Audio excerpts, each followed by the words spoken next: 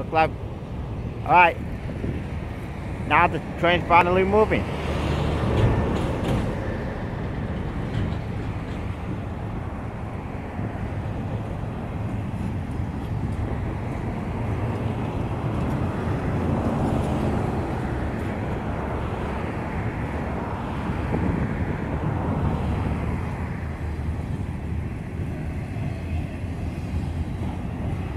And here comes the end of it.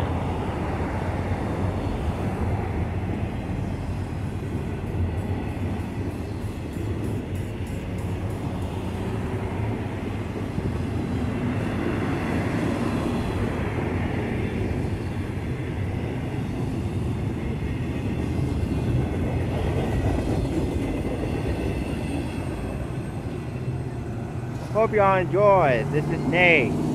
Thank you for watching. See you guys next time. Take care.